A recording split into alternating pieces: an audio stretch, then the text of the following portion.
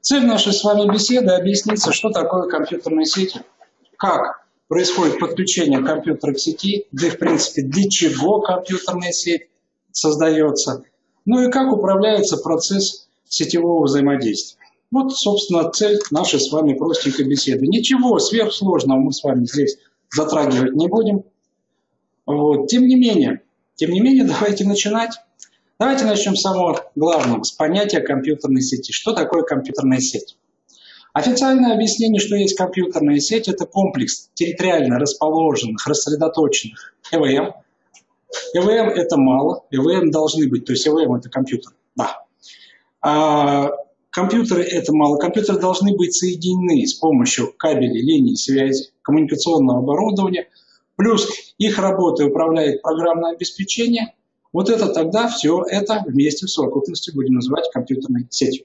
Для чего любая компьютерная сеть создается? В первую очередь, основное все-таки назначение сети – это дать возможность компьютерам общаться друг с другом какими-то данными. То есть получать удаленный доступ к каким-то распределенным ресурсам уже пользователя. Ну, то есть, другими словами, цель любой сети – заставить два удаленных компьютера пересылать, обмениваться данными. Вот это и есть основная цель. А то, что оптимизация, ускорение ресурсов, ну, это зависит от назначения. То есть есть серверы, приложения, на которых разворачивается соответствующее программное обеспечение, которое может не быть установлено на компьютере у клиента. И тогда клиент свою задачу обрабатывает, используя вот этот удаленный доступ. Но это только часть взаимодействия, один из частных случаев. Основная цель – это передача данных, потому что даже в этот момент взаимодействие между компьютерами – это непосредственно обмен данными между этими распределенными удаленными узлами. Собственно, коллеги, еще раз, что такое уже э, с точки зрения обычной терминологии, обычных слов пользователей, что такое сеть? Я могу даже это все по пунктикам перечислить. Это некое количество компьютеров, то есть сеть. Это некое количество компьютеров с работающим программным обеспечением, то есть ПО, плюс обязательно каналы связи, плюс обязательно какое-то коммуникационное оборудование коммуникационное оборудование. Коллеги, вот простейший пример. Предполагаем, что есть один персональный компьютер. Вот он, он есть у нас ПК. Есть второй персональный компьютер. Есть еще один ПК. Есть третий персональный компьютер. Третий ПК. Вот то, что я изобразил на этой диаграммке, это можно назвать компьютерной сетью?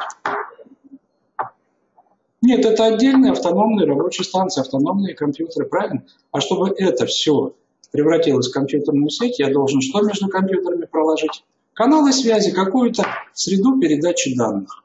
А вот теперь это все больше уже напоминает объединенную сеть, то есть сеть. А теперь давайте определяться, коллеги. А для подключения компьютеров к сети нам необходимо что сделать? Первое, ну давайте также по пунктикам перечислим. Для того, чтобы некий компьютер интегрировать и подключить к какой-то сети, нам необходимо, первое, иметь некое количество компьютеров, нам нужны компьютеры. Перечислим просто компоненты сети.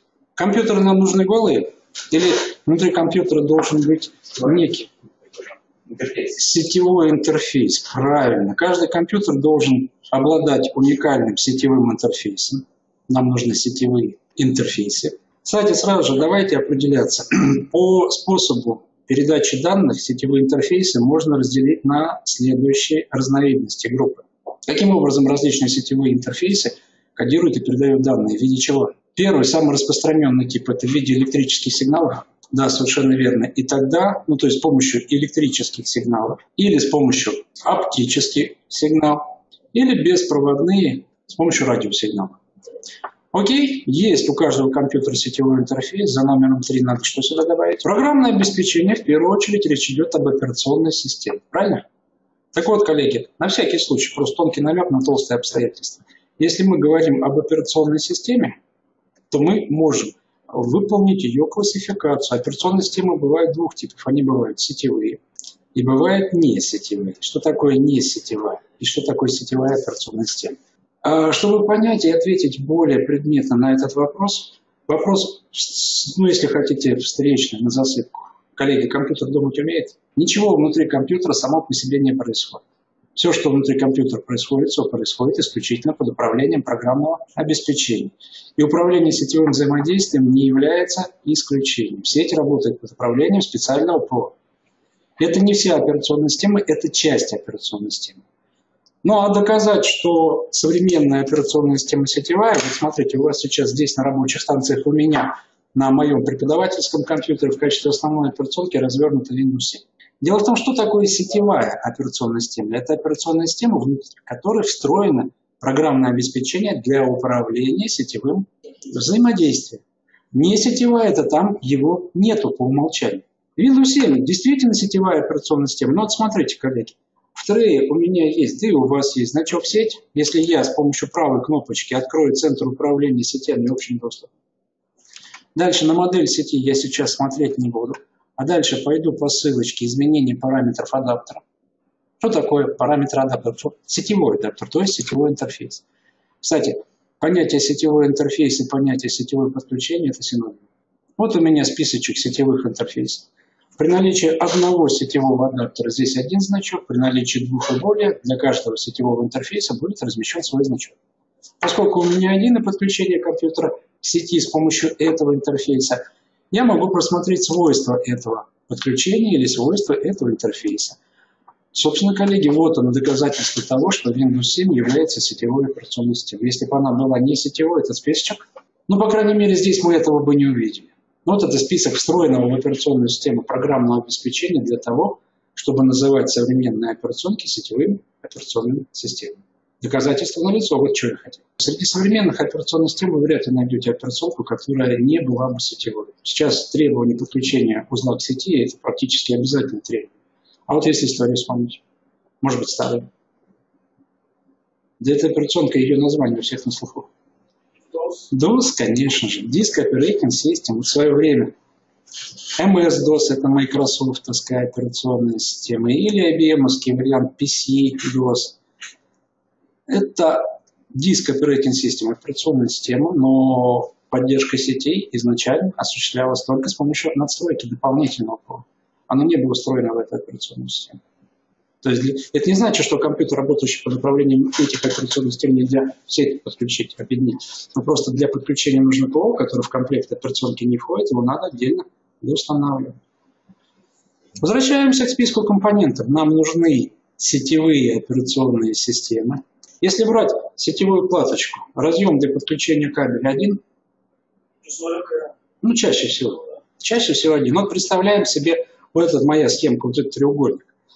Вот он здесь есть сетевой адаптер, сетевой интерфейс внутри компьютера и разъемчик для кабеля там один. Если я захочу два компьютера связать между собой, я запросто беру некий кусок кабеля, сегмент кабеля подготовленный, соединяю эти два разъема, вот я получил с вами сеть, но сеть, которая включает только два компьютера. Нам нужно коммуникационное оборудование, совершенно верно. Коммуникационное оборудование. Что выступает в роли коммуникационного оборудования? Ну, самое простое, это может быть хаб, это может быть свич, это может быть роутер. В чем у них отличие? Хорошо, это правильно, абсолютно, браво, честное слово. Ну а теперь, если это не знать, что такое модель оси, обычный пользователь не знает. А ему как объяснить? Вот это более правильный ответ. То есть различаются количеством интеллекта, уровнем мозгов. Абсолютно безмозглое устройство хаб. Что означает безмозглое? Оно работает на уровне электрических сигналов. Те данные, которые передаются, оно воспринимает как обычный электрический импульс. То есть, условно говоря, хаб – это примерно то же самое, что для нас представляет из себя тройник, обычный электрический тройник. Ну, практически пример. А? Ну да, можно так сказать. По поводу тройника, пример. Одна розетка свободная в квартире есть, а нужно подключить миксер, телефон и еще что-то. Мы же не идем в ЖЭК, не делаем заявку, чтобы на следующий день пришел электрик с отбойным молотком и начал штробить стены, прокладывая новую проводку. Есть гораздо более простое решение. Пойти в магазин электротоваров и купить тройник, обычный электрический тройник.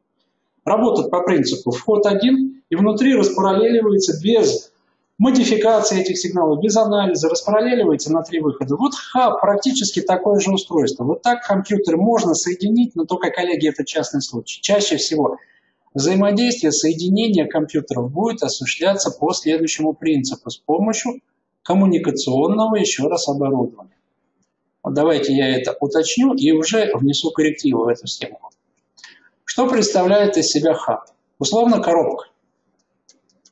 На передней панели которой будет некое количество портов для подключения сетевых кабелей. Количество портов зависит от модели. И отдельными сегментами мы берем с вами и каждый из этих компьютеров его собственный сетевой интерфейс отдельным кабелем соединяем. Хаб работает по принципу. Все, что пришло, допустим, отправителем данных является вот этот компьютер. Все, что пришло в виде данных на этот интерфейс, он эти данные не анализирует. Он внутри их что делает? Разветвляет, распараллеливает на все остальные порты. То есть обычно хаб могут еще э, концентратор или многопортовый повторитель называть, другие названия, другие обозначения хаба. Свитч это более умное устройство. В чем его ум заключается? Дело в том, что вот эти данные, передаваемые по сети, они имеют одну очень важную характеристику. Они, может быть, не всем адресованы, а кому-то одному. И кто-то один подключен, допустим, вот через этот порт номер 3. Так вот, свич имеет возможность коммутировать. Он же называется коммутатор. То есть он умеет анализировать адрес получателя и отправлять эти полученные данные не всем подряд, а получателю. Вот это уровень мозгов. Тогда роутер чем отличается? Коллеги, а может получатель быть не здесь, а где-то совершенно в другом месте, а другое место – это другая сеть и так далее. Так вот, роутер, в отличие от свеча, может выполнять маршрутизацию. Он может прокладывать маршрут. То есть он может выбирать, в какую сеть отправлять сообщение, чтобы в итоге от отправителя это сообщение было доставлено получателю. Это еще более высокий уровень интеллекта. Вот чем эти три коммуникационных устройства отличаются, если говорить языком пользователя друг от дружки. Но в простейшем случае хаб, правда, сейчас купить в чистом виде хаб практически невозможно. Ну, это уже специфика. Окей, коллеги, и, наконец, нам пятым компонентом сюда что надо добавить? Физическую среду передачи данных канала, правильно? Физическая среда передачи данных. Что может проступать в виде среды передачи данных? Вот здесь электрические кабели, вот в этом случае оптоволоконные кабели, а в этом случае, то есть и там, и там кабели. А? Вот это абсолютно браво, правильный ответ, потому что обычно, когда этот вопрос я задаю слушателям курса сети, обычно мне воздух говорят, а радиосигнал в воздухе не передается. Воздух не является основой, является электромагнитное поле. А это эфир. Эфир, да, совершенно верно. И вот, собственно, коллеги, при наличии вот этих пяти компонентов нам ничто не мешает построить некую сеть. Вот это состав любой сети. Разобрались? Тогда давайте вспомним, как сети классифицируются. Какие типы сетей бывают? Это вы слишком глубоко пошли разновидности сетей.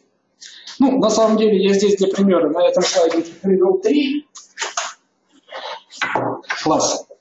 В принципе, региональные сети, он, ну, как бы, скажем так, это, наверное, ну да, промежуточные, это между локальной и глобальной сетью, не всегда это выделяет в отдельный класс. Чаще говорят все-таки о двух классах сетей. Вот давайте попробуем разобраться. Сети бывают. Первое локальные, как аббревиатуры английской это будет называться? Local Area Network, совершенно верно. Что сеть делает принадлежащий классу локальной сети, то есть определение локальной сети.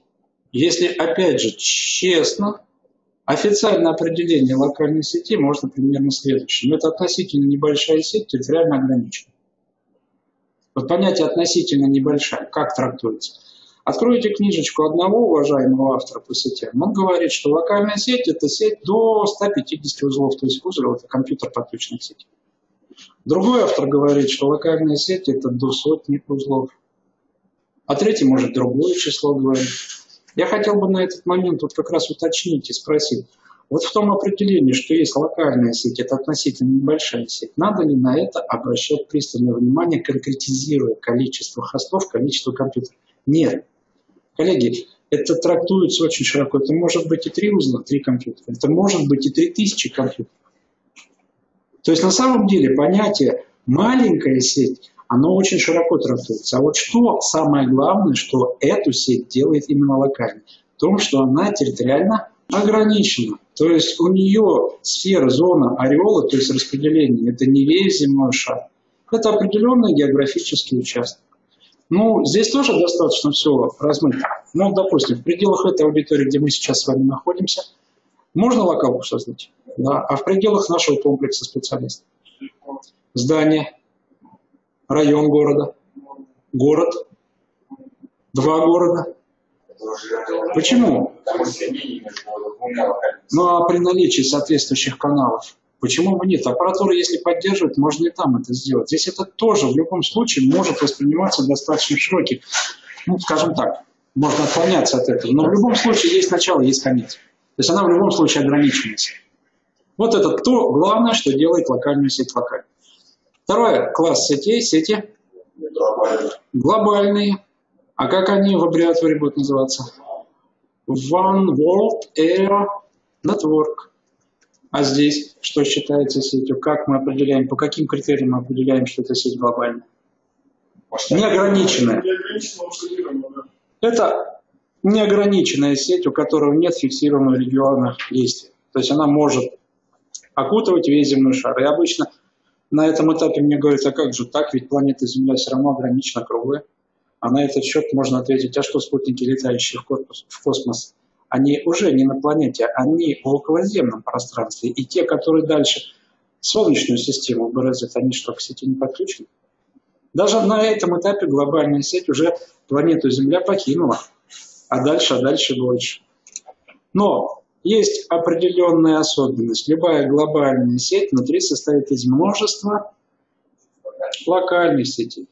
И как конкретный пример, самый ну, известный представитель глобальной сети. Интернет. Что такое интернет? Коллеги, я здесь с вами беседую на этом семинаре, ничего сверхсложного рассказывать не буду. Если будет желание, ну, приходите, у нас много сетевых курсов, у нас хорошее развитое направление. С другой стороны, я могу посоветовать замечательную книжечку. Я представлюсь, я на самом деле, хоть и представился, я э, преподаватель центра специалист, но специалист – это моя вторая работа. То есть я совмещаю. Моя основная работа – это МГТУ более 30 лет работаю. Я учился в свое время, и студенты сейчас компьютерных специальностей учатся в качестве многие направления, многие специальности, многие кафедры в качестве основного учебника рекомендуют брать книжку автор Тененбаум, называется «Компьютерные сети». Знаете, знакомый книга. Вот мне очень нравится автор, как он это все расписывает, и я могу эту книжечку посоветовать. Так вот, если почитать автора Тененбаум, что он говорит нам об интернете, что такое интернет? Очень замечательно, кстати, определение. Это всемирное объединение локальных сетей. Согласитесь, очень четко, доходчиво и понятно. А поскольку интернет это типичный представитель глобальный, то глобальная сеть это множество неограниченных территориальным признаком, множество локальных сетей, объединенных в одну общую сеть. Вот есть что такое глобальная сеть. А теперь давайте дальше попробуем классификацию ввести, коллеги. Поскольку в основе любой глобальной сети лежит множество локальных, а локальные сети как классифицируются? Их деление на, на классы. Я не имею в виду классификация сетей, когда маски не было, это когда-то дальше нет. Это не то. Структурное деление. Не, это вы мне начинаете цитировать уже топологию. Я не спрашиваю о топологии. Коллеги, локальные сети бывают следующих типов. А. Сеть, которая называется одноранговая. Все гораздо проще, чем вы думаете. Одноранговая. Или, может быть, кому-то больше понравится терминология Microsoft. В терминологии Microsoft такая сеть называется сеть на основе рабочей группы. А что такое рабочая группа? Это и есть локальная сеть рабочей группы. Второй класс сетей. Ну, раз бывают одноранговые. Ну, вот многоранговые, хотя теоретически существует такая терминология, мне она не нравится. Если честно, я всегда второй вот этот класс сетей называю, что это более правильно. Сеть на основе выделенного сервера. Сеть на основе выделенного сервера. Сеть на основе выделенного сервера. Опять же, в терминологии Microsoft такая схема называется Доменная модель сети, совершенно верно. Доменная модель сети. Ну и существует комбинированные сети. Это в какие-то моменты, которые проявляются как одноранговые, в какие-то моменты они могут проявляться как сети на основе выделенного сервера. Давайте попробуем с этим разобраться. Но только опять же, чтобы с этим разобраться, нам нужно ввести и определить два основных сетевых термина. Первый. Что такое клиент? И второе. Кто такой сервер? Клиент – тот, кому Вы правы. Можно, да. Обычно я объясняю. Клиент – это тот, кто использует чужие ресурсы будет, а сервер, кто эти ресурсы отдает. То есть все достаточно просто. Ну так вот, что такое одноранговая сеть? Это сеть, где каждый отдельно взятый компьютер может выступать как в роли клиента, так и в роли сервера одновременно. Как это может быть? Давайте попробуем разобраться. Предполагаем, вот нет, есть некая среда передачи данных, кабель. Я подключаю первый компьютер своим отрезком, то есть своим сегментом кабеля. Я подключаю второй компьютер своим сегментом кабеля и подключаю третий компьютер своим сегментом кабеля. И, допустим, компьютеру номер один через портик USB я подключаю принтер. И обычно, как говорят системные администраторы, расшариваю. Да. Что такое расшарить? Это открыть ему общий доступ. То есть разрешить использовать этот ресурс другим клиентам этой сети. А теперь вопрос. Это принтер. Пользователь компьютера номер три вот этого компьютера может в этом случае при наличии у него своих собственных настроечек этого принтера использовать его для печати своих документов. Не вставая со своего рабочего. Общий доступ открыт, расшарен. Да. Вопрос, кто в этой операции? Это будет первое действие, первая операция. Кто является клиентом, кто сервером? Это сервер, он же предоставляет ресурсы печати, его можно даже конкретизировать. Это принт-сервер, правильно? А К3 – это клиент. Давайте разберем вторую ситуацию. Опять же, через USB-порт третьему компьютеру я подключаю какое-то внешнее дисковое хранилище, заполняю его данными и также расшариваю, открываю общий доступ. Вторая операция. В этот момент пользователь первого компьютера в этом случае может использовать вот это внешнее хранилище, не вставляя со своего рабочего места. Окей. И тогда кто здесь будет клиентом, кто сервером? К3 является уже сервером, а К1 клиентом. А теперь еще один вопрос, коллеги. А вот эти операции, вот эта первая операция и вторая операция, они могут быть совмещены по времени? Могут быть. А следовательно, мы получили с вами модель какой сети? одноранговые, когда у нас отдельно взятый компьютер может быть для какого-то процесса клиентом, в этот же момент для другого процесса сервером. Вот он пример одноранговой сети. Все достаточно просто. Вообще построение одноранговой сети не составляет никакого труда. Что мы с вами делаем для того, чтобы создать подобного типа сеть? То есть сеть на основе рабочей группы. Мы на каждый компьютер что делаем? устанавливаем сетевые операционные системы при условии, что вот эта техническая поддержка связи есть, то есть каналы проложены. Во время установки операционной системы мы задаем некие сетевые идентификаторы, например, первое, это имя компьютера, правильно? Что такое имя компьютера? Это уникальное имя, которое будет использовано для его идентификации в этой рабочей группе, в этой сети, правильно? И то, что сейчас современные операционки сами нас не спрашивая задают имя – сети или имя рабочей группы. Раньше операционщики спрашивали, а сейчас по умолчанию используют какое имя? Microsoft, по крайней мере, Workgroup, что означает рабочая группа. То есть вся сеть имеет тоже свой идентификатор в виде имени сети, имя рабочей группы. И вот, собственно, нам достаточно установить программное обеспечение, всю остальную работу за нас будет делать. Сетевое по управлять сетевым взаимодействием мы уже можем. Вот вам, пожалуйста, это пример простейшей сети на основе Рабочей группы. Рабочей группой нужно разграничить э, области, да? Получается, если у нас будут разные рабочие группы в одной одноранговой сети, у нас будут у них, даже если одинаковые адреса в пределах одной рабочей группы. Вы имеете в виду уже адреса IP? Нет, вот эти вот имена. Имена компьютеров? Да. Имя компьютера в одной рабочей группе не должно повторяться. А это уже подсети разные. Мы тогда эту сеть делить на подсети должны быть. Ну, то есть можно, да, с помощью вот этих Ну, если мы, смотрите, вот на этом компьютере одно имя сети, а на этом другое имя сети, формально это не одна уже сеть, а две подсети получилось. Что идентифицирует сеть? Это вот это общее имя в настройках программного обеспечения. Оно идентифицирует подключение компьютера к этой сети на программном уровне. Давайте, коллеги, еще один вариант. А вот если мы возьмем и сюда подключим еще один компьютер, на который установлен специальное серверное программное обеспечение. Что под этим в первую очередь понимаем? Операционную систему. То есть операционки, они бывают не только сетевые, не сетевые. Они бывают операционные системы для рабочих станций, то есть клиентские операционные системы. Операционная система Windows 7. Клиентская для рабочей станции. Windows 8. Тоже клиентская. И операционная система бывают серверные. Чем они друг от друга отличаются? И пример.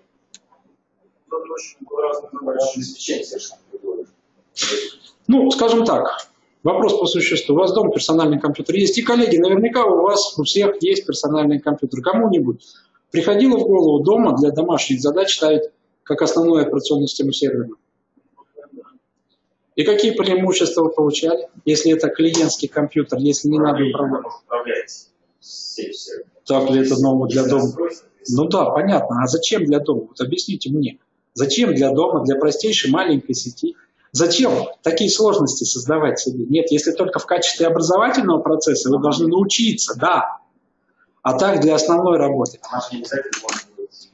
Коллеги, а вот теперь смотрите, в чем концептуальный подход в создании операционной системы для рабочей станции и операционной системы для сервера отличается. Что есть диспетчер задач, знаем. И что есть вот такое вкладочка, такая быстродействие, знаем. А вот теперь смотрите, вот он центральный процесс. То, что он двухъядерный у меня, две диаграммки. Это общая загрузка ЦП. Количество ресурсов у центрального процессора бесконечное? Не бесконечно. А теперь вопрос. Все, что внутри компьютера, поскольку все, что внутри компьютера происходит, все происходит под управлением программ, значит, для обслуживания различных процессов все равно используется в той или иной степени центральный процессор. Правильно? Правильно. А теперь предполагаем себе следующую задачу. Вот здесь есть процессы. Некоторые из них являются клиентоориентированные, предназначены для обслуживания клиента, его приложений, некоторые из них серверные. Что такое процесс? Это тоже приложение, это тоже программа, которая опять же выполняется кем? Процессом. А что будет для процессора важнее выполнить, если одновременно поступит запрос клиентскую программу или серверную, сетевую программу? А вот это все зависит уже вот отсюда, коллеги. Это распределение приоритетов, выполнения, в обслуживании различных процессов. Серверная операционная система, она по умолчанию заточена не для клиента, а для того, чтобы сетевые процессы управлять ими. Поэтому, если одновременно приходит запрос на обслуживание клиентского или серверного, операционка серверная предпочтет, естественно, выдаст приоритет серверному процессу, сетевому процессу. Ну а клиентский как раз наоборот, они же для пользователя ориентированы. Вот в чем концептуальный подход. То есть я хочу сказать, что даже если у вас мощное железо, установив дома на домашний ПК обычную серверную операционную систему, в пользовательском приложении вы прироста скорости не будете, а как раз наоборот будете видеть, что оно работает даже чуть медленнее, чем под управлением операционной системы классических клиентских. Вот. Ну, да, согласен, согласен, согласен.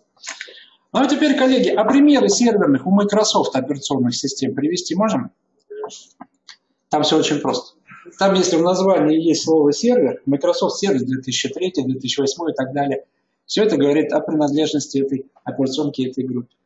А вот, собственно, не всегда. Если речь идет не о Microsoft, а о других производителях, вот конкретно, например, FreeBSD. Это же серверная операционная система, хотя в названии нет. Мы понимаем, что вот такое деление операционной системы происходит. Так вот, это уже модель какой сети? На основе выделенного сервера. Конкретные примеры, наиболее часто выделенные сервера. Их название зависит от их назначения. О таком понятии, как почтовый mail сервер слышали? Хорошо. А что такое FTP сервер слышали? Совершенно верно, это сервер хранилища. А что такое print сервер слышали? Ну вот тот пример, который я приводил чуть выше. в одноранговой сети. Вот он, принт-сервер. А что такое веб-сервер, слышали? Отлично, вот они, конкретные, достаточно распространенные примеры выделенных, как правило, серверов. Ну а теперь, коллеги, третья категория – комбинированная сеть. А она, судя по названию, комбинированная сеть – это сеть, в которой в какие-то моменты могут присутствовать признаки сети одноранговой, а в какие-то признаки сети на основе выделенного сервера. Вот эта схемка, которую я нарисовал, она может иллюстрировать комбинированную сеть? Да, запросто. А конкретный пример даже могу привести. Операционную систему Win8 знаем? Глупый вопрос. Но тем не менее, не все просто ее используют. А если работали, если знаем, в чем ее, а, если брать классы учетных записей, в чем она по типам учетных записей отличается от семерки?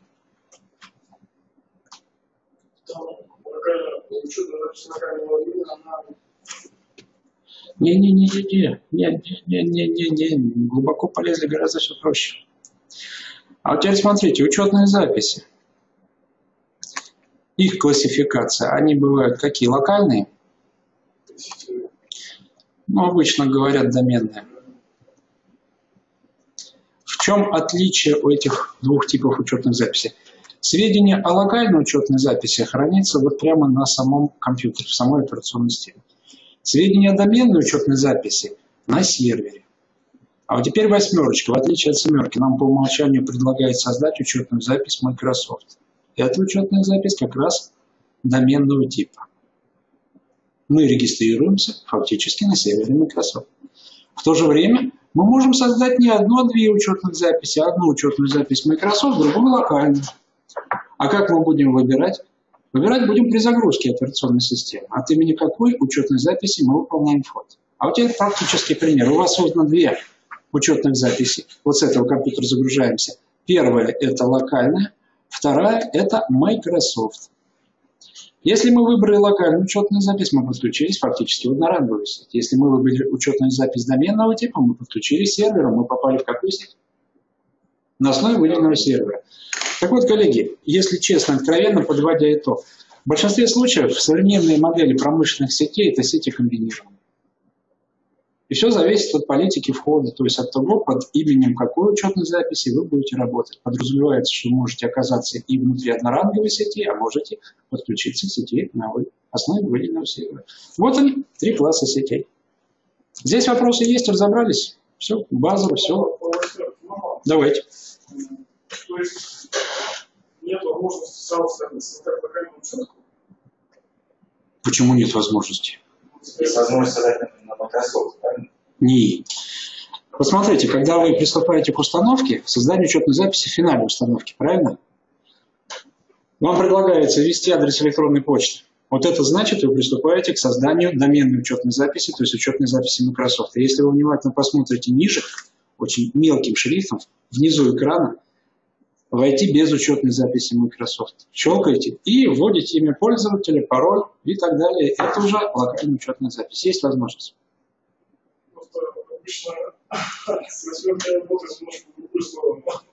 Ну, ну, понятно, но тем не менее, есть там такая возможность не создавать учетную запись доменную, то есть не создавать, есть отказаться и создать при установке даже просто локал. А теперь представьте, Компьютер, который локальным является, он не подключен к интернету. Если бы там не было возможности создавать локальную учетную запись, мы бы просто на этапе создания учетки прекратили бы установку операционной системы.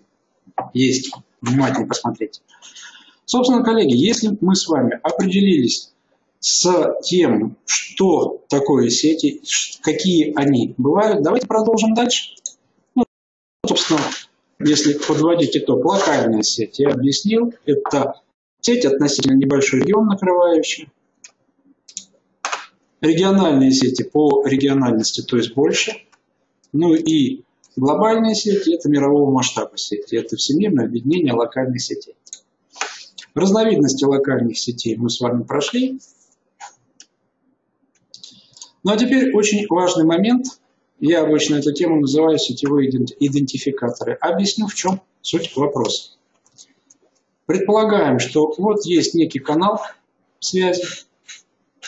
И опять же, есть некое количество компьютеров, подключенных к этому каналу. Первый, второй, ну и так далее, где-то там компьютер за номером N. И, допустим, отправителем, отправителем является вот этот компьютер. Он формирует данные, данные специальным образом для передачи по сети подготавливаются, выкладываются в этот кабель.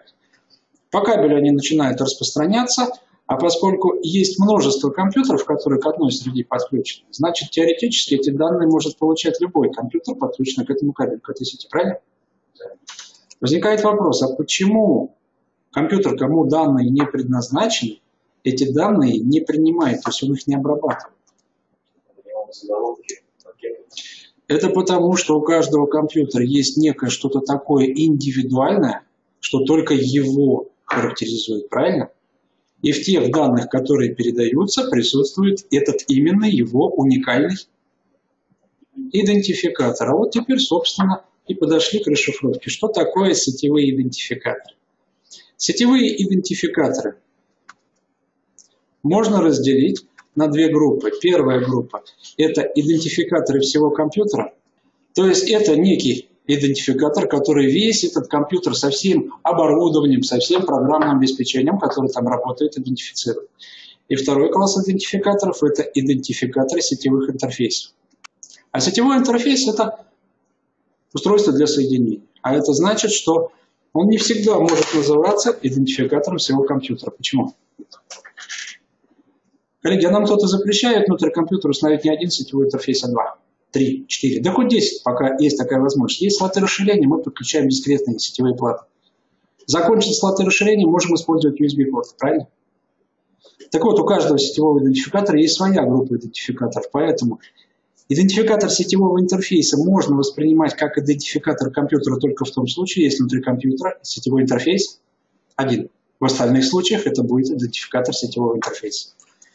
Давайте попробуем разобраться с ним. Для начала идентификаторы компьютера. Здесь два типа идентификаторов. Вот если мы сейчас с вами, ну, допустим, откроем проводник и пойдем по ссылочке сеть.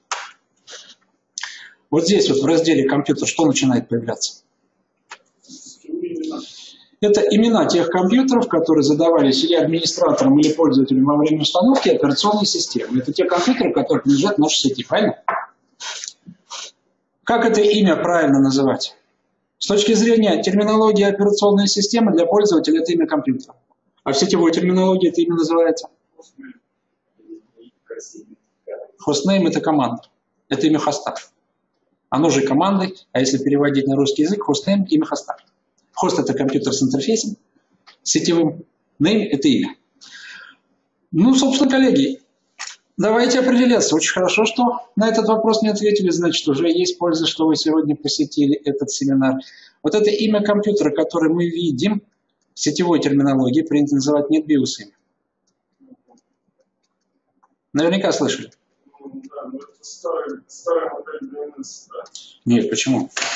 Вот пойдете сейчас сдавать экзамены на подтверждение своей сетевой квалификации практически во всех экзаменах, будут до сих пор вопросы. Дело в том, что оно сейчас не очень распространено, опять же, среди кого? Среди пользователей. Но среди тех, кто будет настраивать NetBIOS имя, это обязательно. Во всех книжечках умных авторов по сети NetBIOS имя, NetBIOS имя, NetBIOS имя. Что из себя представляет? Это имя, которое мы задаем с вами когда? Или во время установки операционной системы, или потом его можно, будет, его можно поменять. Зачем оно нужно, его основное назначение? Вот для чего. Используя это имя, я могу что сделать? Двойной щелчок на этом имени обратиться на этот удаленный узел, правильно? Только где? Если у меня компьютер в разных сетях, я могу это сделать? Нет, вот так вот, просто при стандартных настройках. Нет. Поэтому обратите внимание, нет биосимии. Это уникальное имя компьютера, которое используется для его идентификации внутри сети. То есть это внутрисетевое имя. А в чем имя хоста и биос? Так это одно и то же. Это одно и то же, да. Но только, но только, ну да, это, это синонимы. Но только вот будете сдавать экзамены, там будет фигурировать вот это имя. Я вас просто знакомлюсь. То, что мы говорим имя хоста, имя хоста, я тоже говорю не нет биосами. Я общаюсь везде и с коллегами, и со слушателем во время компьютера. Ну, а в терминологии это называется NetBIOS. Собственно, как его просмотреть? Есть два способа. Самый простой способ – открыть свойства системы. Если мы откроем свойства системы, то вот здесь вот в разделе имя компьютера, имя домена и параметры рабочей группы, что мы с вами видим? Вот оно, полное имя, это имя NetBIOS зарегистрировано за данным узлом. Есть второй способ. Если мы ну, хотим быть до конца педантами, а это значит все способы рассмотреть, мы можем открыть приложение «Командная строка», набрав в строке «Выполнить CMD», и набрать здесь какую команду для Microsoft операционных систем? Совершенно верно. Хост. Куда я пошел? Name.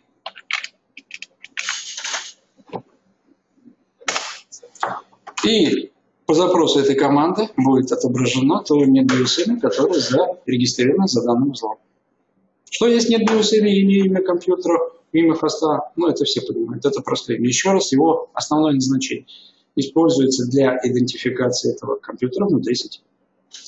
Второй класс или второй тип имени компьютера. С этим, а? С этим бывает сложнее. Это DNS имя. Оно не является обязательным. У некоторых узлов оно есть, у некоторых его может не быть. DNS имя. А это что?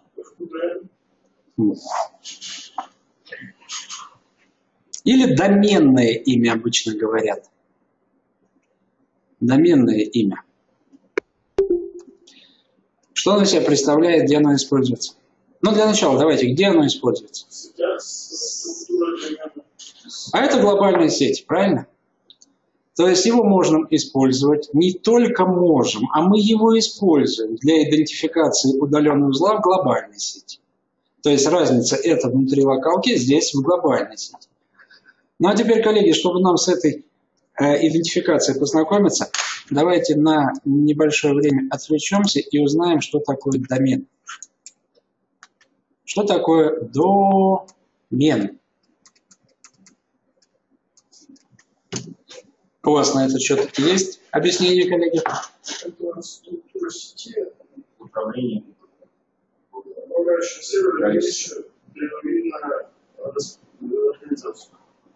Я вас понял.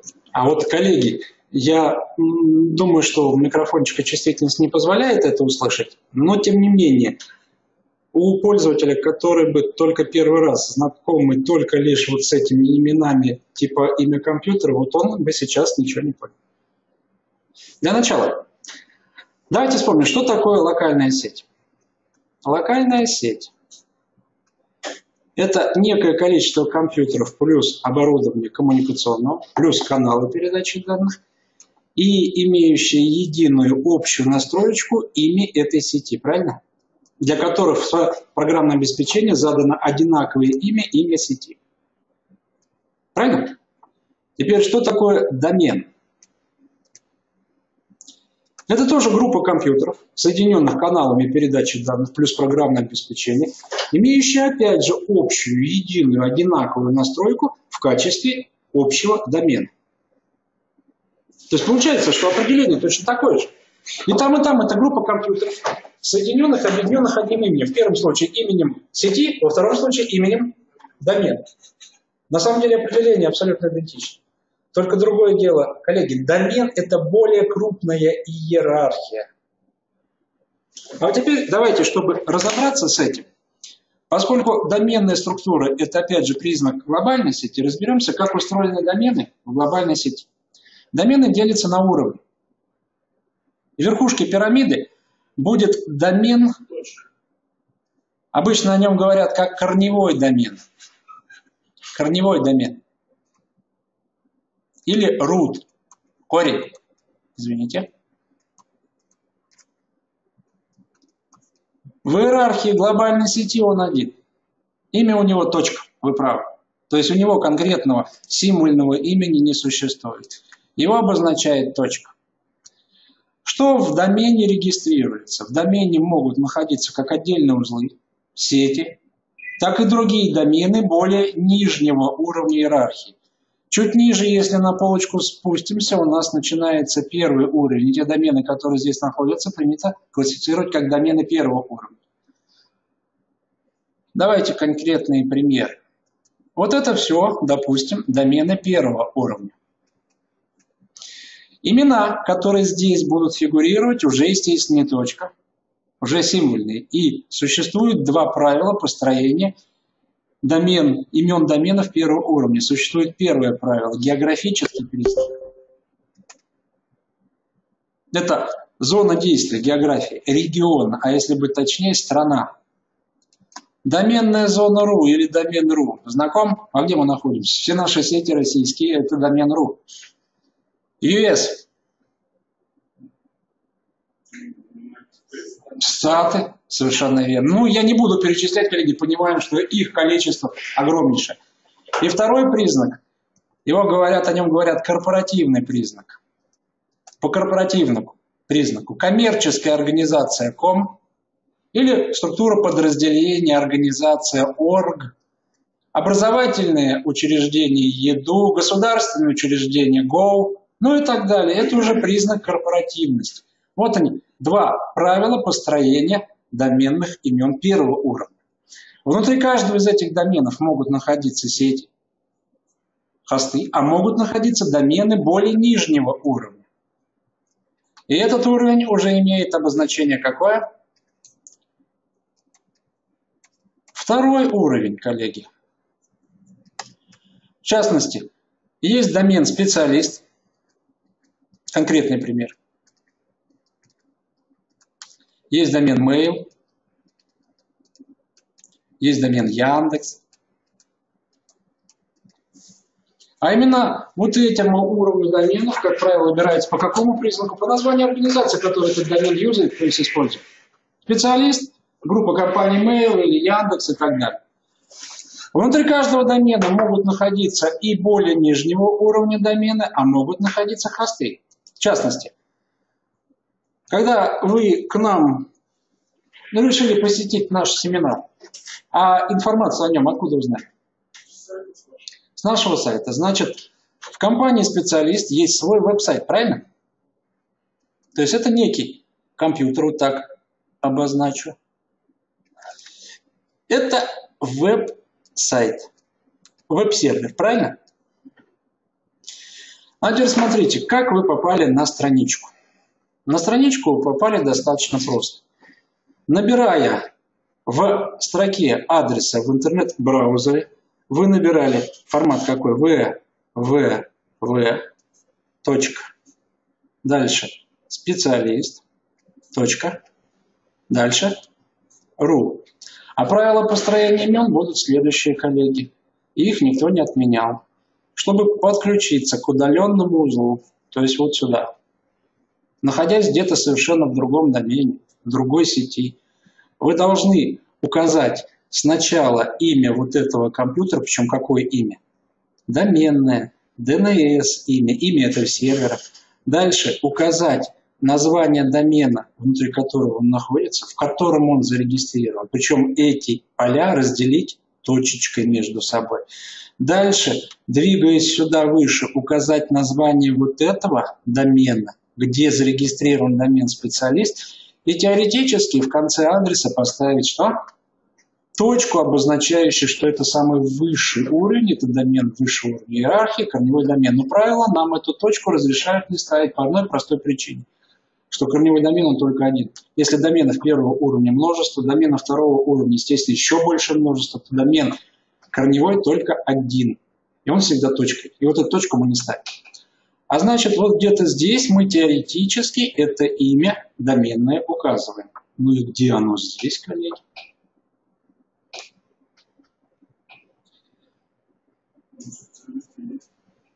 Хм. А как же название вот этого домена?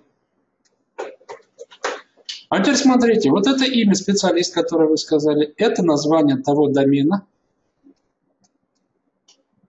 Вот это название вот этого домена. Точку в конце мы опустили. Коллеги, а вот теперь смотрите. Вот это что? World Wide Web, правильно? А это есть на самом деле не что иное, как доменное имя вот этого нашего веб-сервера. Это не World Wide Web обозначение всемирной паутины, это доменное имя. А теперь предполагаем, коллеги, э, следующую ситуацию. Я могу, используя браузер, не набирать www-специалист, а сразу набрать специалист.ру. И я попаду на нужную страничку. Почему? Потому что во все современные браузеры встроено следующее правило. Если в строке адреса доменное имя отсутствует, по умолчанию поставляется имя www. А это значит, что системный администратор, который этот домен обслуживает, то есть админ нашей сети, создавая этот веб-сервер, должен использовать какие правила? Правила адекватные. А это значит, что все сисадмины, сисадмин специалиста, сисадмин вот этого, сисадмин вот этого домена, создавая свои веб-сервера, не сговариваясь по умолчанию, для них выбирают какие имена? ВВВ. И все прекрасно работает, потому что это согласуется с политикой программного обеспечения браузера. А теперь представьте, если бы мы для нашего домена, точнее, извините, для нашего веб-сервера, наш сисадмин выбрал имя Петя, Практически, что получилось бы? Пользователь, который желает открыть страничку специалиста. Специалист он знает по названию компании, рекламу увидел, правильно? Открывает браузер, набирает специалист.ру, что делает по? Подставляет www такого сервера, нет, не отвлекается, страницу отобразить невозможно, правильно? Коллеги, вы собираетесь быть адекватными сисадминами? Если собираетесь, значит, такие же правила придется и вам придерживаться. www – это доменное имя. Вот вам конкретный пример, где используется DNS-имя в глобальной сети для идентификации уже удаленного узла. Разобрались? Ну и заодно с доменной структурой познакомились. То есть если вернуться к объяснению, вот то, о чем я уже говорил. Домены первого уровня – корневой домен, домены, извините, это корневой, домены первого уровня – домены второго, могут быть домены третьего уровня, ну и плюс www это DNS, имя веб-узла. Разобрались? Возвращаемся. Это были идентификаторы компьютеров. Вторая группа идентификаторов – это идентификаторы сетевых интерфейсов.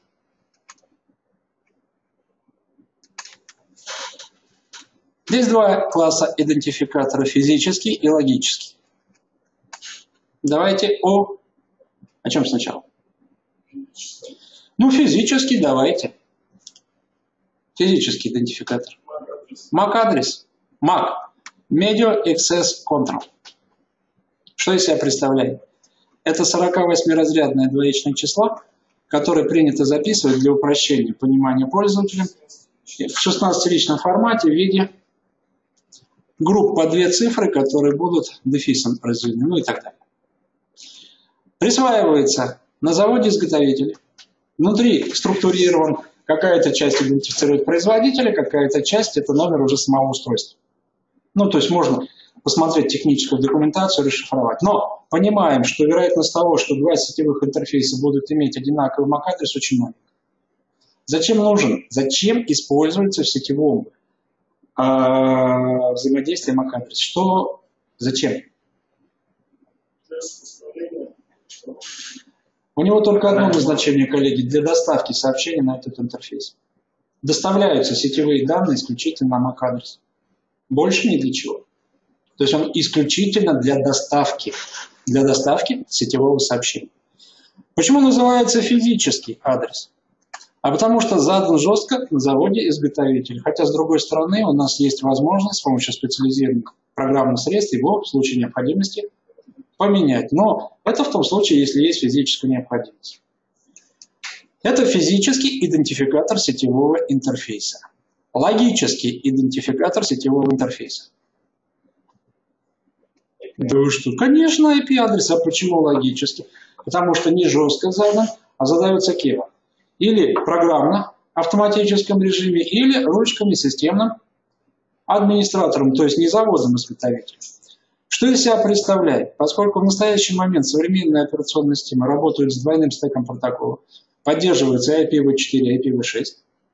Длина этого идентификатора будет разная. Для версии программного обеспечения IPv4 это 32-разрядное число, которое принято записывать в формате десятичная с точкой. Что из себя представляет формат десятичная с точкой? Это четыре десятичных цифры w.x.y.z, разделенные разделителем точки. То есть понимаем, что это десятичные цифры. Ну, допустим, 195, 19, 33, 4. Вот такой формат 4 десятичных числа, разделенных точкой, называется десятичной точкой. Для версии уже более современного по IPv6 это 128-разрядное двоичное число. А нам, людям, человекам, проще работать не с двоичным форматом. Опять же, для удобства представления записывается в виде 8, 16 ричных квартета, между собой разделенных разделителем двоеточия. Назначение IP-адреса, зачем он нужен, какую роль он выполняет в сетевом взаимодействии?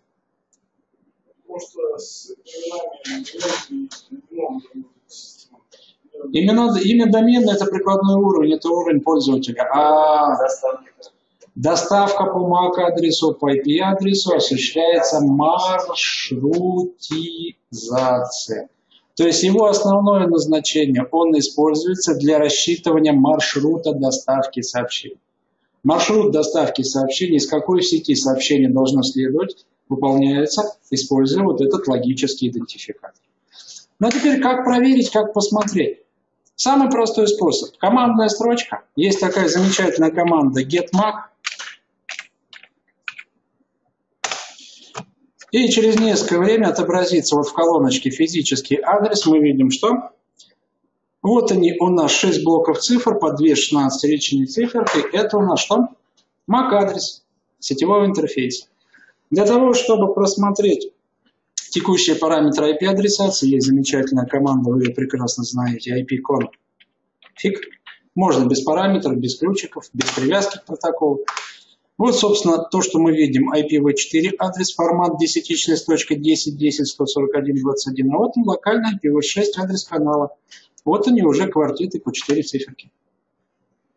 Это для того, чтобы получить информацию по параметрам текущих идентификаторов. Собственно, коллеги, это то, что называется идентификаторы. Это мы должны с вами прекрасно понимать, что у каждого компьютера есть свой набор уникальных идентификаторов. Работают они для разных целей, на разных уровнях. И служат они для идентификации именно этого компьютера. Идея понятна? Ну что, коллеги, тогда опять же давайте к первоисточнику. По идентификаторам мы с вами посмотрели. А, кстати, второй способ просмотров параметров IP-адресации можно поступить следующим образом. Центр управления сетями. Правая кнопочка «Состояние», а здесь «Сведения». И вот мы получаем практически уже в графическом интерфейсе те же самые данные по параметрам IP-адресации. Здесь же есть даже сведения о MAC-адресе. Так, ну, если с идентификаторами разобрались, Давайте к следующей теме перейдем, о которой тоже неплохо было бы хотя бы начать говорить в это коротенькое время. Сетевая архитектура. Что такое сетевая архитектура, коллеги?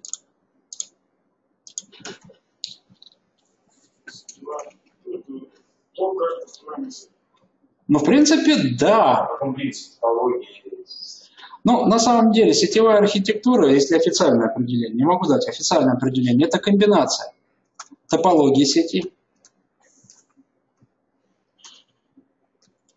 плюс методов доступа к среде передачи данных, плюс сетевых протоколов, которые необходимо использовать для создания работоспособной сети.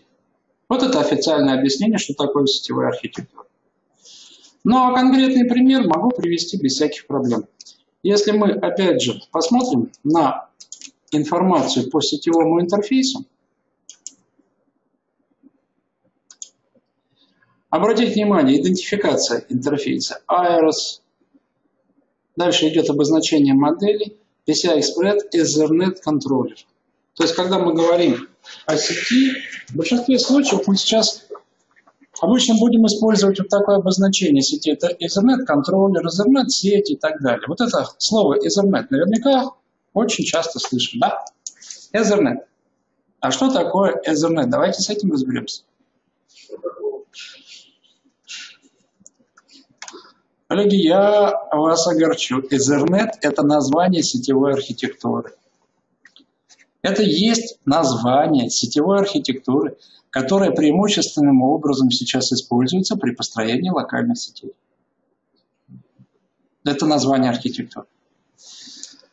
А если мы историю сетей, развития сетей помним, то в прошлом веке какой-то момент об архитектуре Ethernet еще практически не говорили, а в промышленности практически повсеместно использовалась в сетях другая архитектура.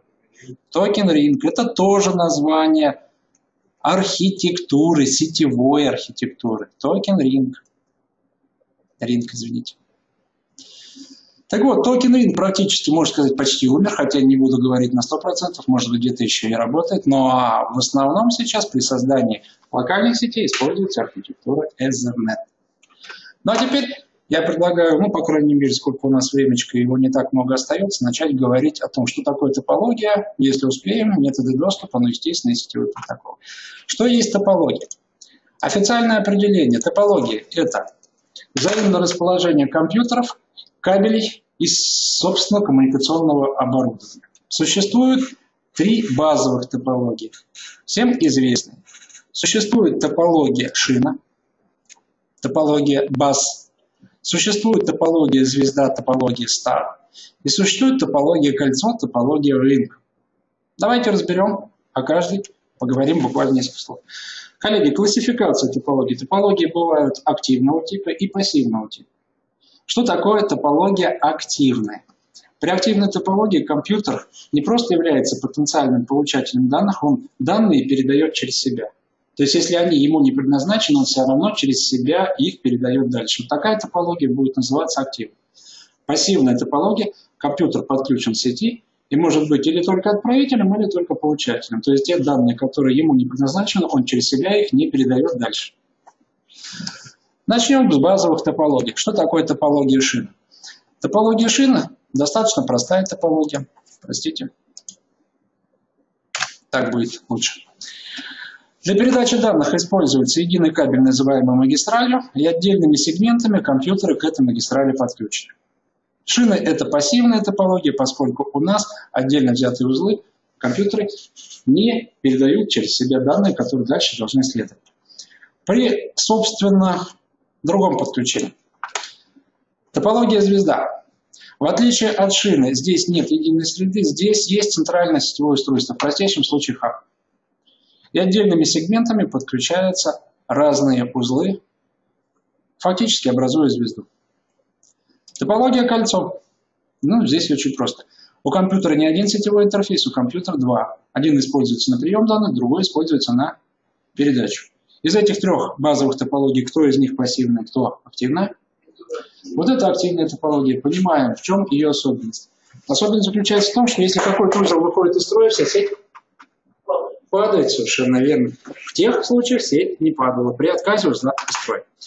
Коллеги, кроме базовых топологий, есть еще так называемые комбинированные топологии. Логическое кольцо, физическая звезда. Есть центральное сетевое устройство, и вот отдельными сегментами подключаются узлы. Коллеги, это же звезда, разве нет? Физически, вот он сегмент, вот он сегмент, вот он, вот он. Это звезда. Но есть одно маленькое но. Данные здесь передаются за счет логики работы вот этого устройства не всем подряд, а по следующему алгоритму. Обратите внимание, это устройство принято называть MAO. Multi-Access Unit. Устройство множественного доступа. Это не хаб. Это хитрое сетевое устройство. Логика у него работает следующая. Полученные данные он сначала направляет в порт номер один в что здесь есть получатель. Если это не получатель, он эти данные обязан э, вернуть обратно. Куда их коммутирует МАУ? В порт номер два. А значит, вот она стрелочка, как следовали данные. Если это опять же не получатель, он данные возвращает сюда, они перенаправляются в порт номер 3, а далее в порт номер 4. Таким образом, данные бегают фактически по кругу, правильно? Хотя физически соединены компьютеры по звезде. Поэтому называется логическое кольцо физическая звезда. Вот, собственно, подобная топология использовалась при использовании архитектуры токен Ring. Именно она была как основная топология в этой архитектуре. Топология ячейская, mesh-топология. Множественность интерфейсов. Вот что характеризует эту топологию. То есть у компьютера ровно столько интерфейсов, с каким количеством других узлов он должен быть соединен. Ну, предполагаем, вот этот компьютер соединен этим, этим, этим, этим, то есть четырьмя интерфейсами со всеми узлами. Зачем? Дорого ведь. Отказоустойчивость множественность каналов передачи связи. Выход из строя одного канала не влечет за собой потерю работоспособности сети. Где-нибудь топология сейчас используется? Коллеги, вы тогда интернета не знаете. Такая топология используется в глобальной сети интернета. Но согласитесь, между глобальными маршрутизаторами, вы, конечно, там не один канал связи, там множественность. Отказоустойчивость на высшем уровне. Конечно, совершенно верно. Вот, собственно, коллеги, это основные, коллеги. Есть еще некоторое количество вспомогательных вот таких комбинированных топологий, но они на базе шины, а шина это коаксиальный кабель уже давно не используются, и практически я их даже сюда презентацию не строил. Основные мы с вами разобрали, которые реально можно где-то еще стоять. Так вот, коллеги, это топология. Что такое топология, я думаю, стало понятно. Это как компьютеры соединены, как проложены кабели, как передаются данные. Теперь второй компонент – который составляет сетевую архитектуру. Это методы доступа к среде передачи данных. А что считается методом доступа? Что вообще такое метод доступа к среде передачи данных? Я предлагаю для начала разобраться с очень неприятным моментом, который периодически в сетях бывает. Этот момент принято называть коллизией. Представляем, коллеги, некоторое количество компьютеров подключено одним кабелем. Данные передаются в виде электрического сигнала. Что будет, если один компьютер и второй компьютер отправят одновременно свои данные, то есть выбросят в кабель электрический импульс? Этот электрический импульс и один и второй будут накладываться, друг, будут наложены друг на друга, как результат те данные, которыми кодировался, которые кодировались этим импульсом, будут что? Потеряны, искажены потеряны. Вот этот процесс э, столкновения этих данных и называется коллизия. Так вот, Говоря о том, что такое методы доступа к среде передачи данных. Формальное определение – это правила, которые определяют, как компьютер должен отправлять и принимать данные. А по сути, если уже зачем это, а назначение этих правил, это правила, которые минимизируют риск возникновения коллизий. То есть они определяют, как компьютер должен контролировать канал передачи данных, чтобы не попасть не возникла ситуация коллизии. Или, по крайней мере, вероятность была меньше. Вот это называется методы доступа к среде передачи данных. Это понятно? Ну а теперь смотрите, коллеги, на самом деле существуют три основных метода доступа к среде передачи данных. CSMA, CA. Метод CSMA, CD. Этот метод, который принято называть э, множественный доступ с контролем несущей и обнаружением коллизий. Ну так на русский язык можно эту фразу перевести. Принцип его работы следующий, можно по этому слайдику. А передающий слушает сеть. Слушает, это значит проверяет канал. Если несущая частота отсутствует, а что такое несущая частота? Это вот подобная частота, на которую накладываются передаваемые данные. То есть если в канале есть несущая частота, это говорит о том, что в канале есть передаваемые данные. Так вот, если несущая частота отсутствует, логично, канал свободен, начинается передача данных. То есть передающий слушает сеть, если несущая частота отсутствует, начинается передача. Простые правила. Коллеги, данный метод доступа гарантирует стопроцентное отсутствие коллизий? Нет, конечно же. Коллизии могут возникнуть хотя бы потому, что узлы могут разнесены на приличное расстояние, скорость э, передвижения электричества, она все равно конечная. Вот что будет, если произошла коллизия? Если произошла коллизия, обрабатываться она будет следующим образом. Тот узел, тот хост, тот компьютер, который первый обнаружил, что произошла коллизия, он прекращает передачу данных и формирует, отправляет в сеть специальный служебный сигнал, который извещает другие узлы, что произошла коллизия. Одновременно передачу прекращает и второй узел, с чьими данными произошла коллизия. При этом и на первом, и на втором узле заводится методом псевдослучайной последовательности таймер обратной задержки. У кого он обнулится первым, тот впоследствии первым и будет использовать канал для повторной передачи данных. Ну, допустим, у одного узла Таймер звелся на 2 секунды, у другого на 5 секунд. У того, где он на 2 секунды, он обнулился первый, тот и первый начинает передачу данных. Вот она суть метода множественный доступ с контролем несущий и обнаружением коллизии CSMA-CD. Коллеги, этот метод иногда еще называют метод состязательный. Почему состязательный? Потому что когда таймер взводится, два узла между собой как бы состязаются. Кто первый начнет повторную передачу. Кстати, в сетях Ethernet реализуется именно вот такая, вот такой метод, такая схема. Следующий метод CSMA SACA – это множественный доступ с контролем несущий и предотвращением коллизий. Практически очень-очень, практически очень похож на предыдущий. В чем разница? Ну вот смотрите, передающий слушает сеть, если несущий отсутствует, то прежде чем отправить данные, в сеть отправляется служебный сигнал, который говорит о предстоящей передаче и от продолжительности этой передачи. Ну а далее начинается передача данных.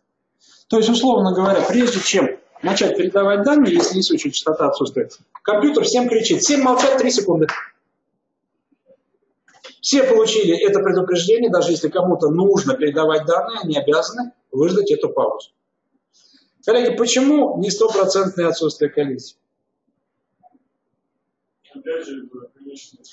А кто гарантирует, что одновременно всем молчать, не крикнут оба компьютера, правильно? Два и более компьютера. Коллизия уже может быть даже среди этих сигналов, а потом начинается автоматическая передача и аналогично. Почему менее эффективен почему в сетях Ethernet его не используют? Коллеги, а пропускная способность канала резиновая? А при данном методе очень много, очень много служебных данных передается. Всем молчать и так далее. А поскольку он не гарантирует отсутствие коллизии, а стоит ли его тогда использовать? Тем не менее, как метод существует, и вы обязаны его знать.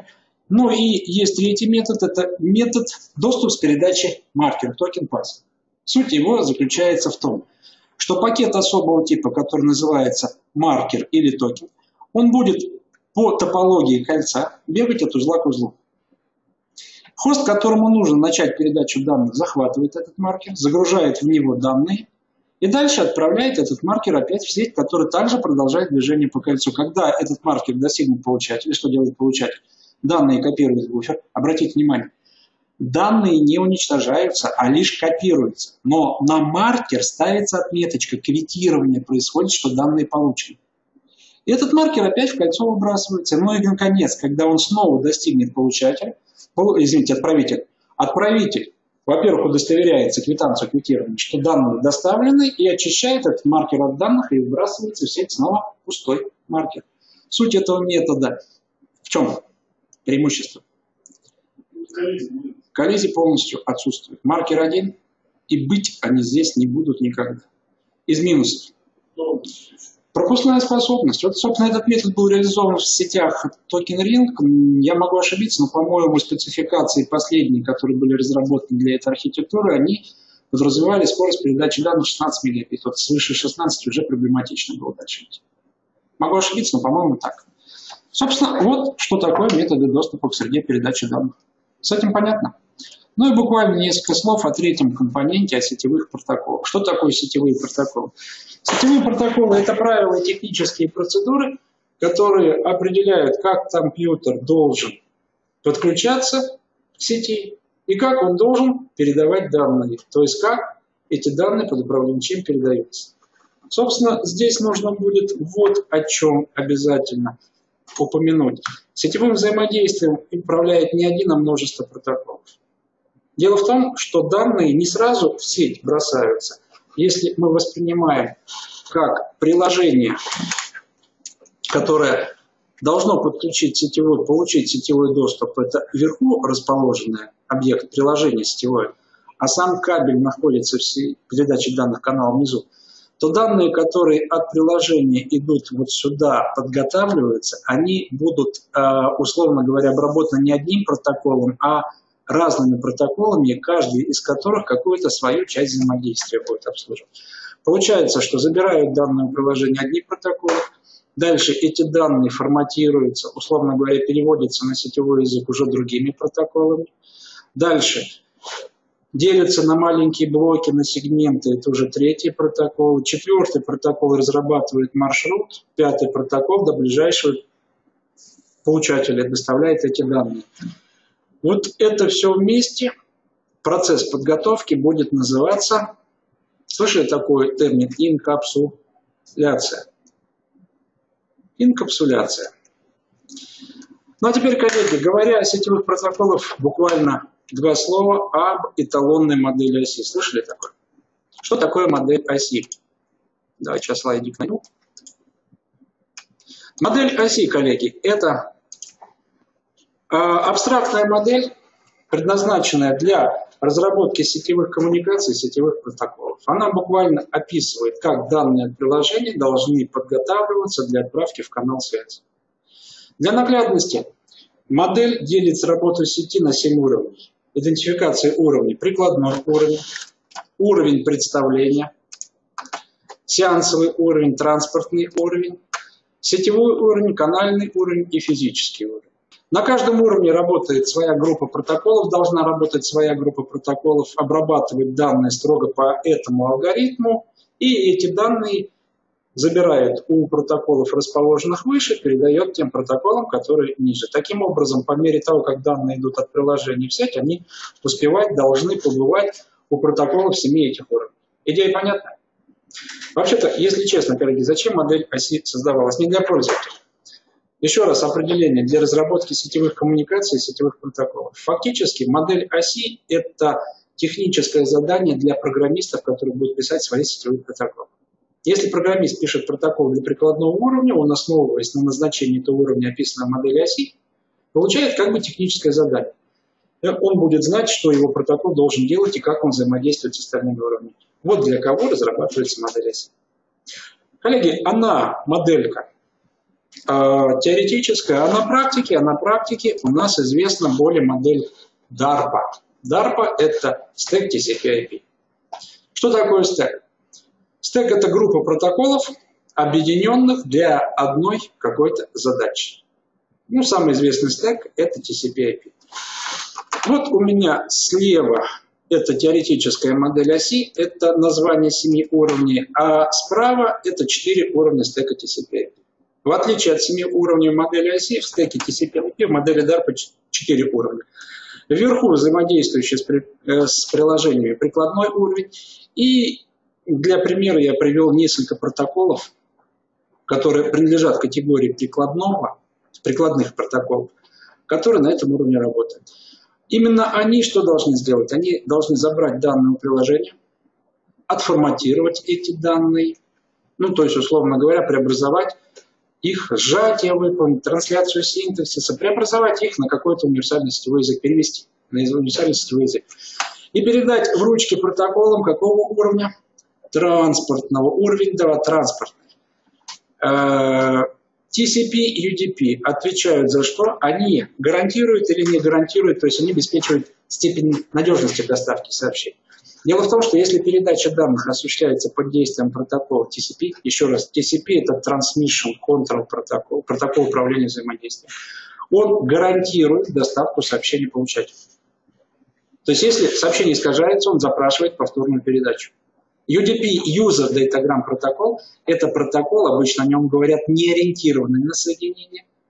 Он не гарантирует доставку сообщений. Его не волнует, доставлены будут данные, нет, его задачка выбросить сообщение в сеть, а дальше судьба его не волнует. Даже если оно исказится, потеряется, это все допустимо.